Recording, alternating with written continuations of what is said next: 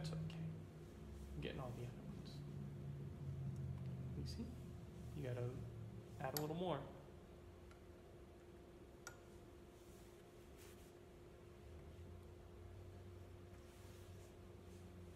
There you go. Good job.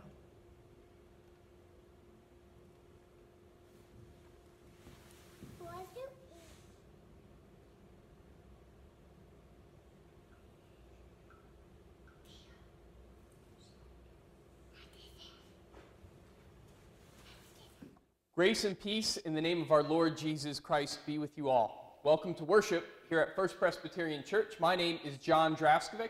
I'm the pastor. I invite you into our time and space of worship with just a couple of quick announcements about things that are going on or will be happening in the life of our congregation. The first is that we are still uh, trying to play the situation a little bit more safely with the governor's mandate to discontinue our uh, meetings and gatherings just to try to help decrease the spread of the virus currently. We are continuing to be open to um, when things become a little bit more safe, going back to being able to do some of our meetings and, and our Vesper service in person. And of course, we're still looking forward to that time when we are gathering together. But the safety of our congregation is our top priority and the safety of our community, really. So I just wanted to let you know we continue to have our finger on the pulse of that, but that's where we are right now. Now, another uh, announcement that I, I'm really excited about and wanted to give you some advanced heads up about is that in 2021, we are going to be going through the story. Now, this is a resource that's put together by the publisher Zondervan that is basically an abridged version of the Bible, broken up into 32 chapters so that it reads like a novel. So it includes uh, narrative and it leaves some parts out, but what it does is try to take the different sections of our scriptures that can be found in different books scattered throughout and bring them together so that it reads as one continuous story. So there are parts that are going to be left out, but there, uh, you get the broad sweep of the scriptures. Now, I, I believe we're going to be ordering some copies of this through the church, and then you can buy uh, that from the church. Hopefully, we get a bit of a discount by getting them in bulk. But don't hold me to that. We're, we're just in, in the stages of checking that out right now. But we won't be starting this until mid January anyway, so we have a couple months. But I wanted to let you know that we're going to be doing this, and along with it, there are some great small group studies. So, in the context in which we can, if it's remotely over the internet uh, or in small groups in person, in the way that we're comfortable, I hope that we can do some small group studies around this as well so that we can really get into it. But just a heads up, this is coming down the line.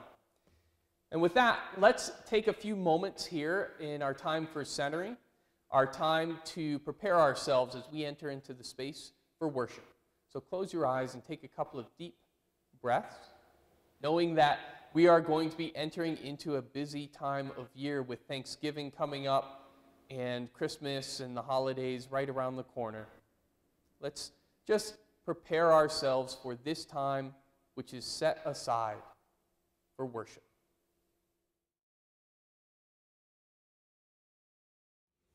Mm.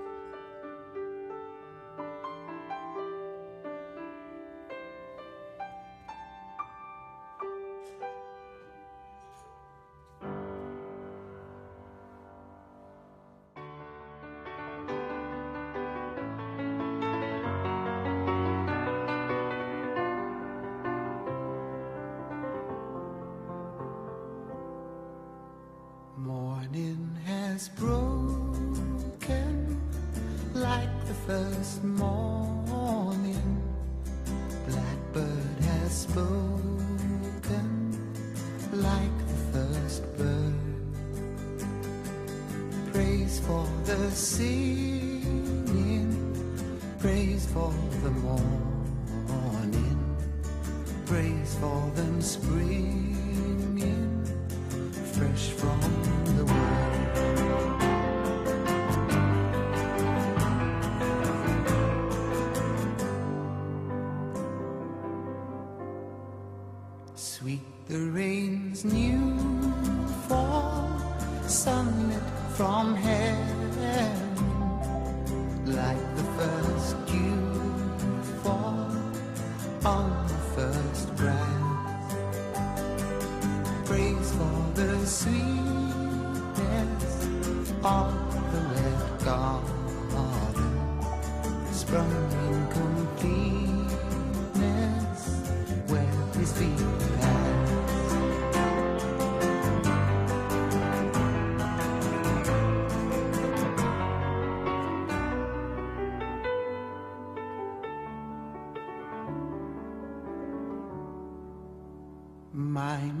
the sunlight, mine is the morning,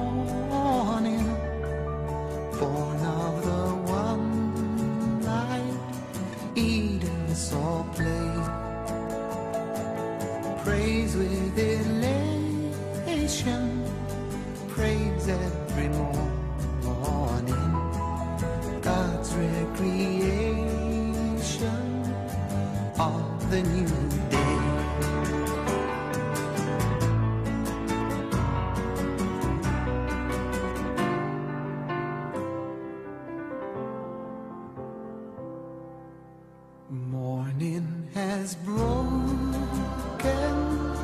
like the first morning. Blackbird has spoken like the first bird. Praise for the singing, praise for the morning,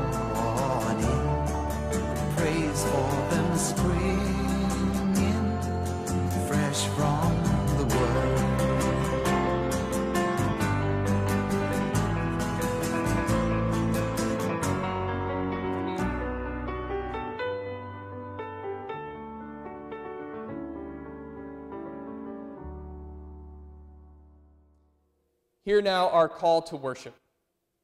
The Lord God is our shepherd. We are the people of God's pasture, the sheep of God's hand. God will seek the lost, feed the hungry, and strengthen the weak. But the proud and power hungry will be fed with justice.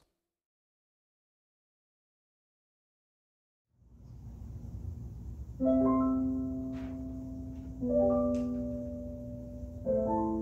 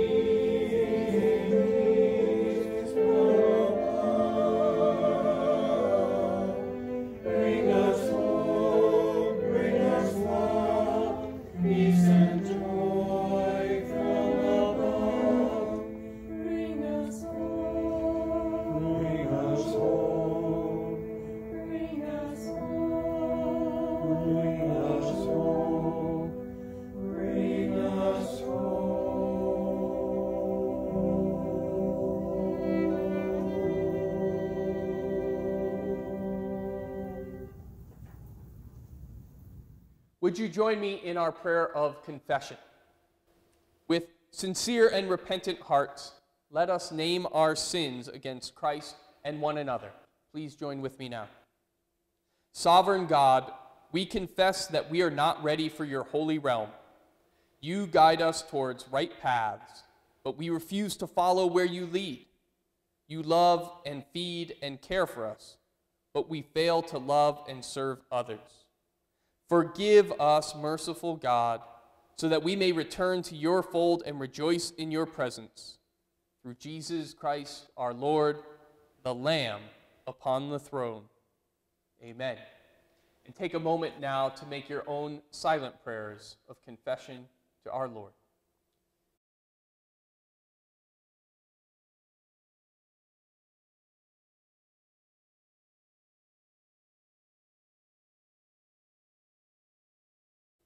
However long we wander, however far we stray, God's steadfast love endures forever.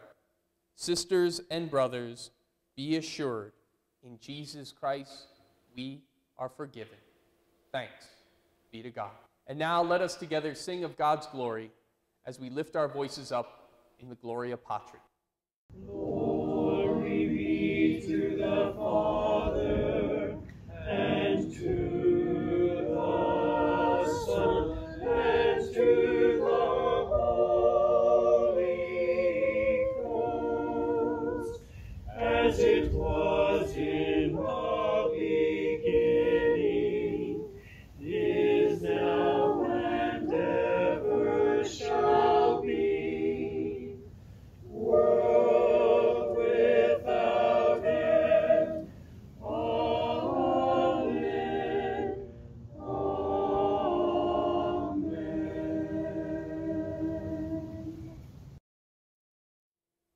Having been reconciled to God, let us be reconciled to one another. The two halves of the table of the law are love the Lord your God and love your neighbor as yourself. And as we learn to love one another, let us sing, Let There Be Peace on Earth.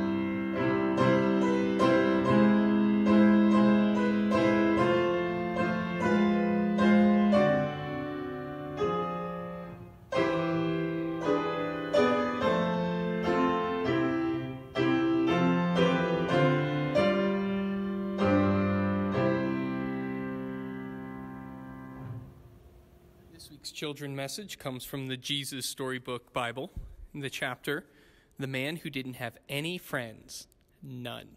The story of Zacchaeus from Luke 19. There was once a man who didn't have any friends, none.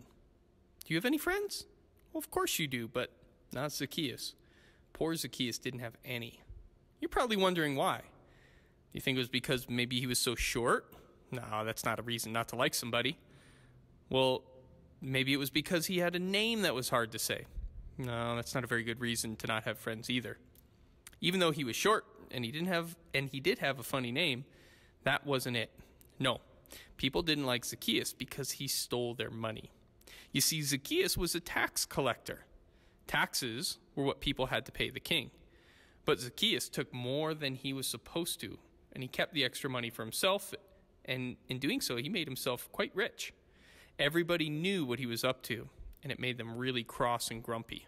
They didn't like Zacchaeus one bit.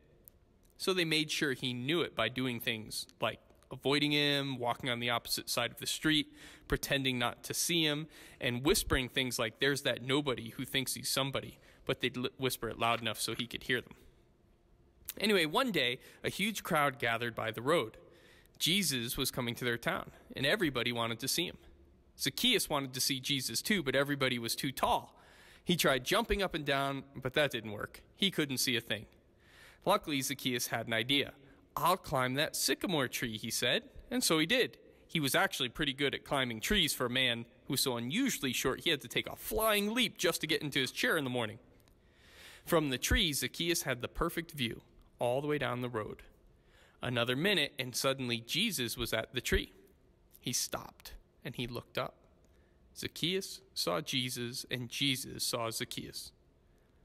Zacchaeus, Jesus said, I'm coming over to your house. Zacchaeus almost fell out of the tree. Come over to his house? No one ever wanted to come anywhere near his house, let alone inside it. The people saw this, and needless to say, it made them even more cross and grumpy than usual. They mumbled and murmured and muttered, Why is Jesus being kind to that big sinner? Doesn't Jesus know about him? Well, Zacchaeus scrambled down and took Jesus to his house. He was in a really big hurry. He didn't want Jesus to change his mind. Perhaps Jesus hadn't heard about him. Perhaps he didn't know how he'd been stealing and how nobody liked him and how he didn't have any friends. But Jesus knew. He knew all about Zacchaeus. He knew about the stealing. He knew about everything. But he still loved him. Zacchaeus was ashamed. Lord, he said, turning pale, I know that what I've done is wrong, but I want to do the right thing. I'll give the money back to everybody that I took, four times what I stole. And that's what he did. Jesus smiled and he said to him, Friend, today God has rescued you. Jesus loved Zacchaeus when nobody else did. He was Zacchaeus' friend, even when no one else was, because Jesus was showing people what God's love was like his wonderful, never stopping, never giving up, unbreaking, always and forever love. Today, this Sunday, in the Christian liturgical calendar, which does not line exactly up with our uh, normal calendar that starts January 1 and finishes on December 31st, today in the liturgical calendar is actually the last Sunday of the year. It is called Christ the King or Reign of Christ Sunday, which I like to call Reign of Christ the King. You, you see what I did there, right? Put it all together. Next week starts the year. And the beginning of the year starts with Advent, the time when we await the coming of the Messiah. And there is a logic and a flow to how the Christian calendar was put together, the reason why the days fall when they do. It actually mirrors a bit the story of salvation. And so it starts with the incarnation, or more specifically, as we await the incarnation, where God comes to dwell with us. And then Christmas is when God's presence fully is here, when heaven and earth fully interpenetrate and overlap. And that just happens to, no, it's not a coincidence, it happens at the darkest time of the year because Christ is the light that comes into the world. Now, the story climaxes at resurrection and reconciliation, the story of Jesus' death, burial, and resurrection that we acknowledge in Holy Week, and we lift up our alleluias on Easter Sunday, on Resurrection Sunday. And the timing of that is, of course, tied to the Passover, which is when Jesus, the feast, the festival that Jesus was uh, tending in Jerusalem when he was crucified. There are other recognitions of high points in the ministry that are uh, kind of interspersed throughout the year. For example, Jesus' baptism, Epiphany, which happens 12 days after Christmas. That's how we get the 12 days of Christmas. And Pentecost, that 50 day period at, upon which the Holy Spirit came upon the church in power. And then there is a long period of what we call ordinary time, which is where we really delve into the teaching ministry of Jesus. The whole story of salvation concludes with the reign of Christ the King Sunday when all will be all and Christ will return and Christ will there we have the story of the final judgment where he is enthroned as king forever and ever. On this reign of Christ the King Sunday, I wanted to take you off the beaten path a little bit. And the reason is the, the gospel reading for today is from Matthew 25. It's the story of the last judgment where Jesus comes as the shepherd who separates the sheep and the goats. And my guess is that you are very familiar with this section of Matthew chapter 25. You've probably read it a bunch of times. You've probably heard it preached upon in church a number of times. And if you are not familiar with that, I would encourage you to hit pause right now and go ahead to Matthew chapter 25, starting in verse 31, and you read through the end of the chapter just to make sure that you are familiar with this story. I'm going to turn to the Old Testament reading for today, which my guess is you are a little bit less familiar with. This comes from Ezekiel, the prophet Ezekiel, chapter 34. And I know for a fact that this text has not been preached on nearly as often as the Matthew 25. But, as is so often the case, Jesus and the New Testament writers, in this case Matthew, draw upon the images and the metaphors from their scriptures, what we call the Old Testament. They actually have a, a technical term for this. Biblical scholars, they call it an intertestamental echo, where something in the New Testament is an echo, it's pointing to, it's reflecting something from the Old Testament. And because there is so much quoting from and borrowing from, referring to, and advancing themes from the Old Testament in the New in order to understand the New Testament. In order to understand what Jesus is doing with the tradition that he's been handed and how he's progressing it, how he's advancing it and moving it forward, you have to know the Old Testament. We have to know the Hebrew Scriptures. That's why in this book here that we call the Bible, two thirds of it are the Old Testament because that is part of the story. And so I want to keep the last judgment of Matthew 25, where Jesus is separating the sheep and the goats, in the back of your mind as we go a little deeper into Ezekiel 34 because what we're going to do today is explore how Ezekiel 34 helps shed some light on the reign of Christ the King, specifically how it pertains to the final judgment, the last judgment scene in Matthew 25, because you're going to find, I, I, know that you will, that there are some really uh, interesting links between those two stories, between these two chapters. So let me remind you a little bit about who Ezekiel was and what was going on in this book. So, Ezekiel is a prophet of Israel. He has a, a fairly large book in the Hebrew scriptures, and it's one of the more bizarre books. It seems like Ezekiel is, is always trying to one up some of the other prophets with the um, kind of unusual imagery that he gives us. Ezekiel was actually in line to be a priest serving in the temple in Jerusalem. He was of a priestly family, except that it says right in the very first chapter when he comes of age, when he hits the age of 30, which is when you became um, eligible to do your priestly duties in the temple, he wasn't in Jerusalem anymore. At this point, the Jewish people had been taken into the Babylonian captivity. And so he, right as he was coming of age to start being able to serve the Lord, is nowhere near that. He's thousands of miles away in Babylon in captivity. This is the context into which Ezekiel is speaking. He's speaking to those Israelites who have just had the experience of an opposing foreign army coming in and destroying their culture, their country, and their temple and carrying, literally carrying them away into a foreign land. And so the reading that we are given in the Old Testament lection for this last Sunday of the year comes from chapter 34. And this chapter is the beginning of four chapters that are talking about what we call salvation oracles, where God proclaims salvation to the people of Israel. And when you read this chapter as a whole, our lection only gives us little snippets. You know, you get a little section here and a little section there, which is good, but it's always more helpful to situate these into a broader context. Okay? But when you read the chapter as a whole, you realize that the much more familiar Last Judgment scene from Matthew 25 is very likely playing on and extending the allegory which Ezekiel is telling in chapter 34 of his book.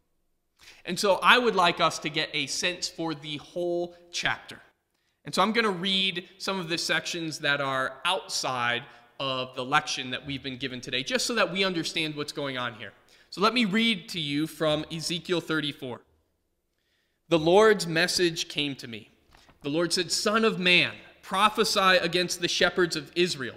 And now, a shepherd was a common way in the ancient Near East of referring to a leader, like the king. Kings were often referred to as the shepherd of, you know, fill in the blank of their country.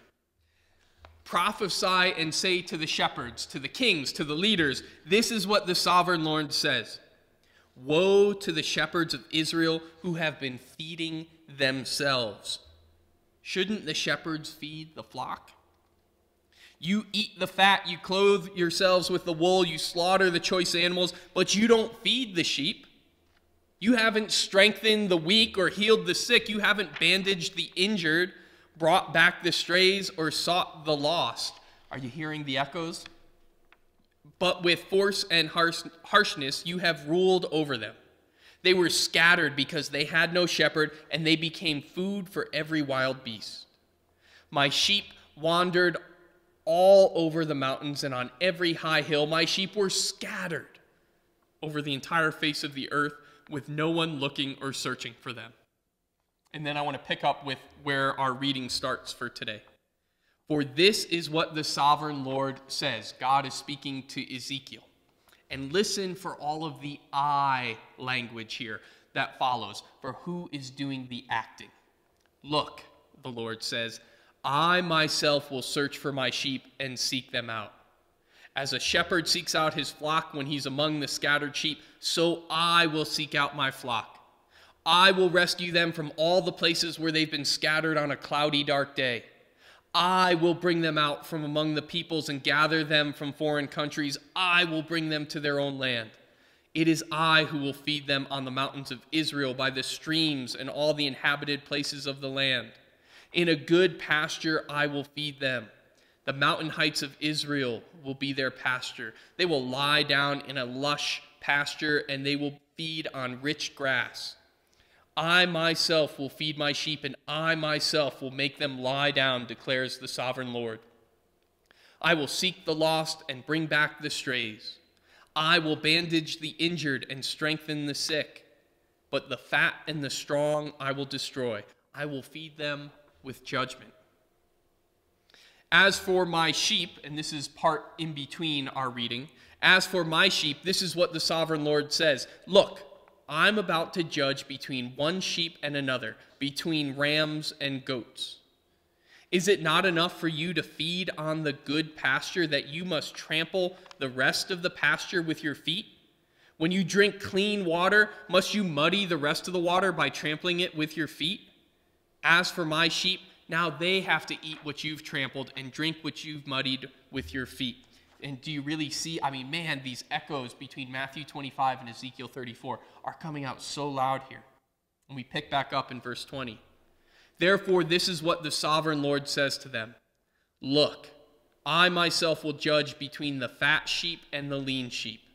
Because you push with your side and your shoulder, you thrust your horns at all the weak sheep until you scatter them abroad, I will save my sheep.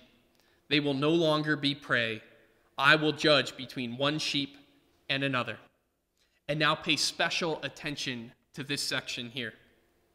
I will set one shepherd over them, and he will feed them, namely my servant David. And of course, David here is it's not the actual King David, but he is a, a type uh, a stand in for the great messianic king. He will feed them and be their shepherd. I, the Lord, will be their God, and my servant David will be prince among them. I, the Lord, have spoken. Friends, I, I know I haven't read Ezekiel 34 many times, and so when I kind of saw this connection here, it was like a, a light bulb going off for me to see, oh my goodness, when Jesus was speaking the way that he was in Matthew 25, he was speaking, uh, everybody would be hearing Ezekiel 34 in the back of their heads. And in Ezekiel 34, God is speaking to the leaders of Israel's, to the kings. May have included the priests, may have included the prophets, but absolutely the kings. And God is dressing them down for not living up to their high calling to be good and righteous leaders who, who encourage justice among the people. And if you read the books of Kings and Chronicles, and it right now in my own kind of personal, I, I try to read through the, the Bible, you know, throughout the year. Uh, that every year I kind of make it all the way through. I'm in Kings and Chronicles right now. And if you read the stories of the kings, you'll see why they, there's a lot of cynicism about their ability to rule in a healthy way. There's a, a lot of uh, bad leadership in Israel and Judah because they misunderstood what leadership was supposed to be about. They thought that leadership is a means of getting your own needs met rather than meeting the needs of the people whom you're supposed to be caring for. To be a shepherd is to be in a symbiotic relationship with the sheep, with the flock. You take care of them, and they take care of you. You make sure they're watered and fed, and the weak ones are nurtured, and the sick are being taken care of, and they will feed you and they will clothe you, literally. The shepherds of Israel had forgotten this core feature of being a shepherd. They thought that to be a shepherd was just to live off the fat of the land, to live off the, of the flock. They had forgotten their responsibility. They had forgotten that they still needed to feed, to tend, and to protect them. But the shepherds aren't the only ones who have fallen down on the job here. I don't know if you noticed this. The flock itself is divided. The strong rams and goats make sure that they get the best grass and the clean water. And they don't necessarily worry about spoiling, uh, trampling upon, muddying the water for the others, for the weaker ones who can't push their own way to the front. And you can blame the leadership, the shepherds, to a point, but you can't blame them for everything, Ezekiel is saying. And this, by the way, is what happens when power is misused or when we try to pretend that an exercising of power isn't important at all. The strong and the powerful in a community will step smoothly into the vacuum of that power, bully their way in, and take what they want, trampling upon the others, which is why I think we are given the gift of leadership and why it is that when leadership is corrupted and misused, it is so devastating.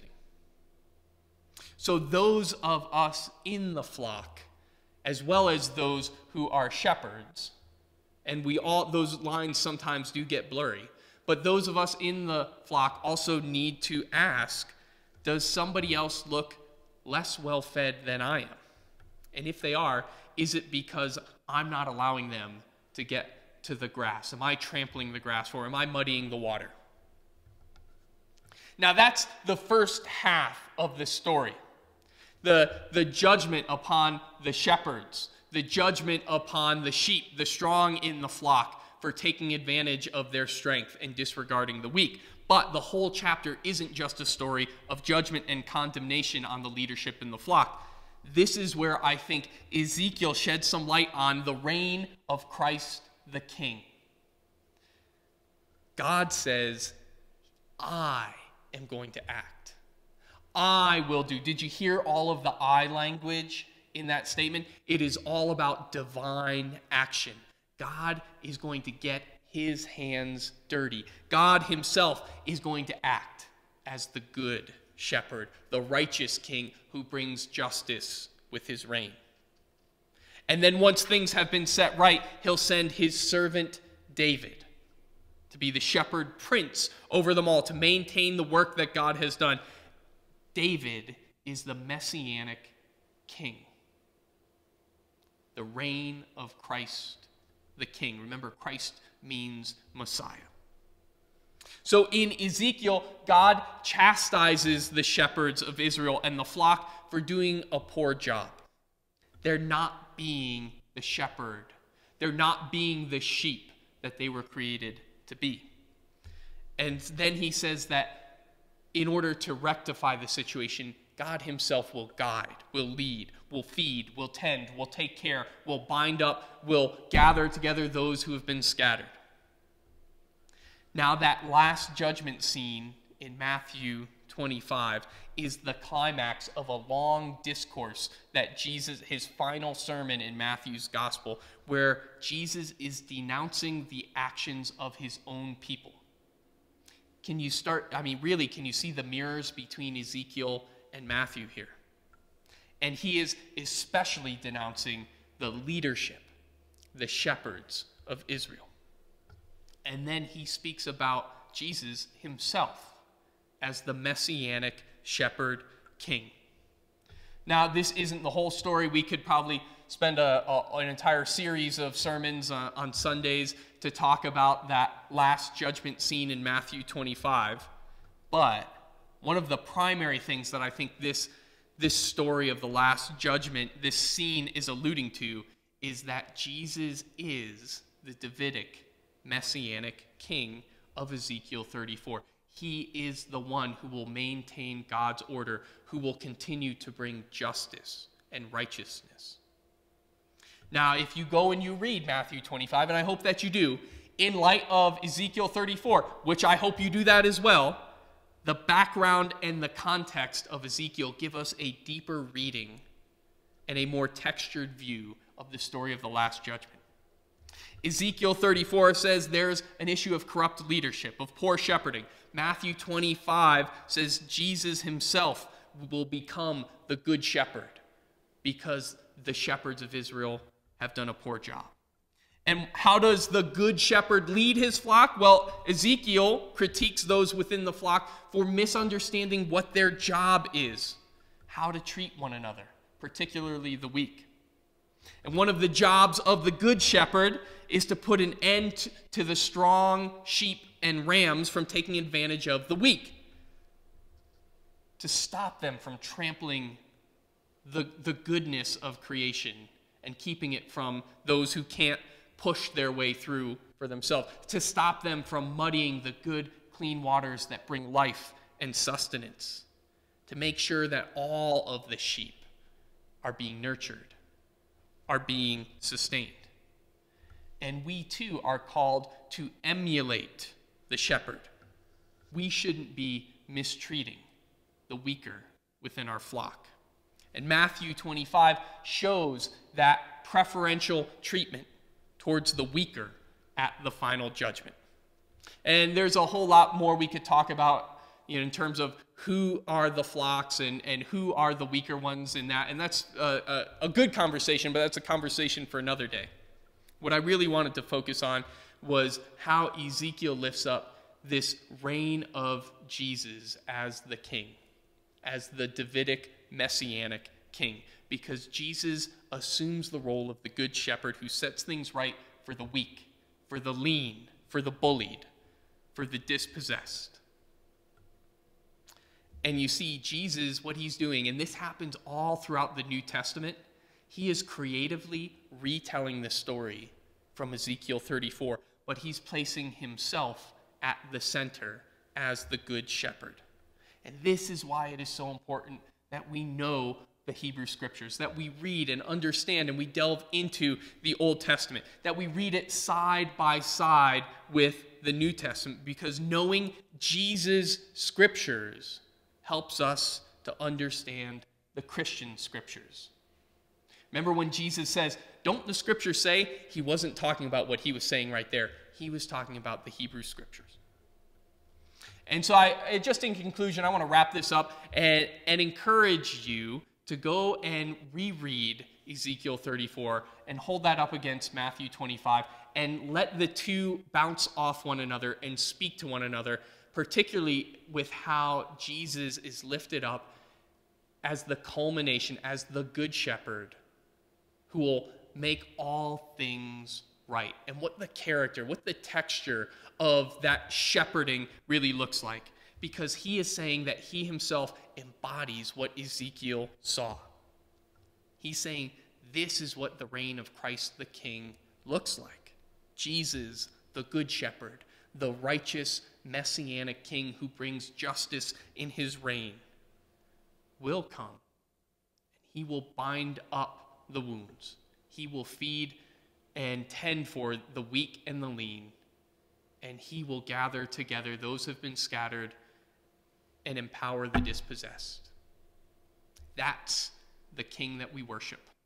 That's what we look forward to in the reign of Christ. Thanks be to God. Amen.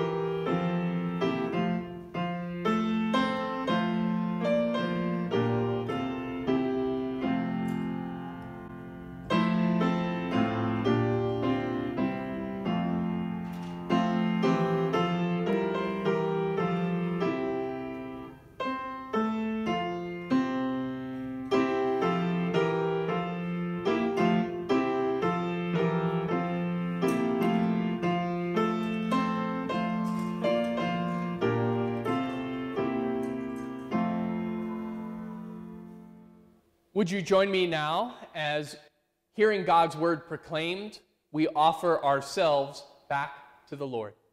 Let us join together. Almighty God, giver of every good and perfect gift, teach us to render to you all that we have and all that we are, that we may praise you, not with our lips only, but with our whole lives, turning the duties, the sorrows, and the joys of all our days into a living sacrifice to you. In the name of the one who gave himself for us, Jesus Christ, our King. Amen.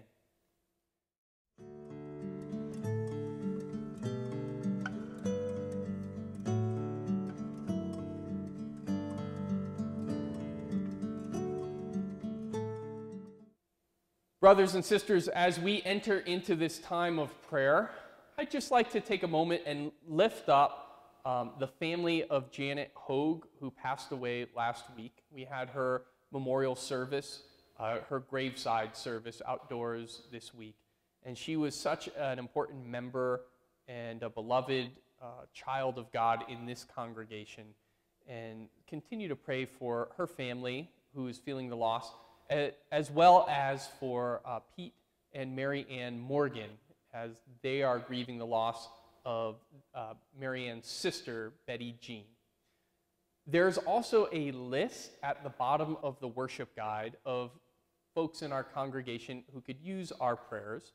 Um, and so I would encourage you to take a look at that and use that throughout the week as we continue to pray for people who are hurting physically, emotionally, spiritually.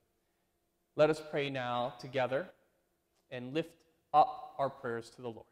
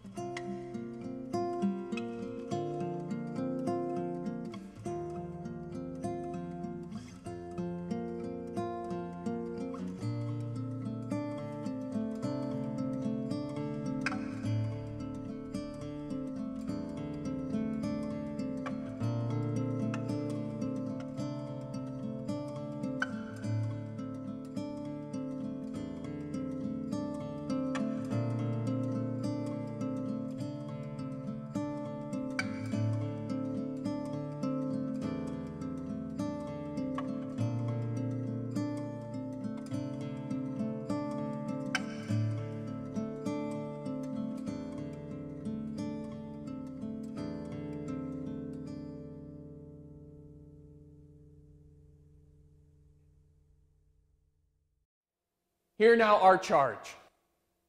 Go in peace to love and serve the Lord, serving faithfully until Christ comes to welcome his people home. And for our benediction, may the grace of Christ surround you, the love of God astound you, and the Holy Spirit keep you on this day and forevermore. And may you, as we get ready to celebrate our Thanksgiving holiday this week, give thanks to God for all that we have, the many blessings.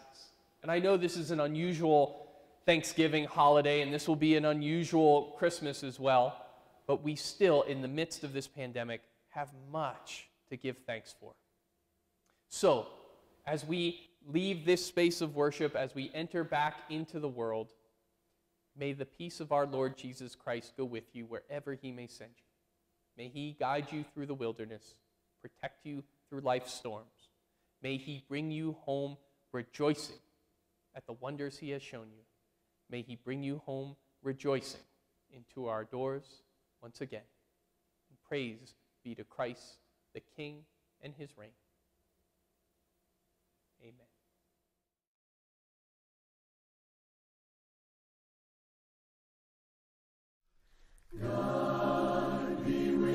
Till